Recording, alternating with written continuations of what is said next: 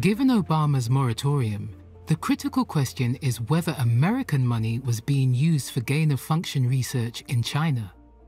Dr. Fauci of the NIH is adamant that it was not. I will repeat again the NIH and NIAID categorically has not funded gain of function research to be conducted in the Wuhan Institute of Virology.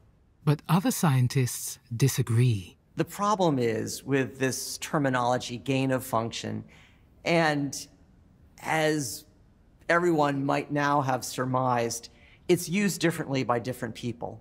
The NIH has adopted a narrower definition of this particular form of work. When they talk about gain of function, they're talking about work that's set out with a specific purpose of adding one or, or both of those two functions to something that didn't have it.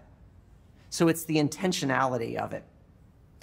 Using my definition, meaning work that could be reasonably anticipated to create a new virus that had enhanced transmissibility or enhanced virulence?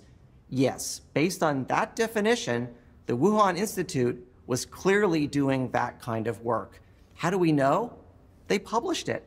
And to answer the question, was it supported by the NIH? The answer is yes.